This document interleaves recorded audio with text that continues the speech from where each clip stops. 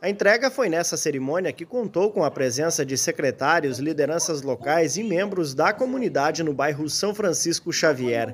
A unidade de saúde da família foi construída pela administração municipal com investimento de um milhão de reais. Aqui irá trabalhar uma equipe multiprofissional que atenderá mais de mil famílias do bairro São Francisco e loteamentos vizinhos, através do Sistema Único de Saúde. Aqui nós teremos médico todos os dias, dentista todos os dias e teremos farmácia também. Então será um posto de saúde de atenção básica, mas com todos os atendimentos. A unidade de saúde está pronta para atender a comunidade, mas entrará em funcionamento após a chegada dos profissionais convocados em concurso público.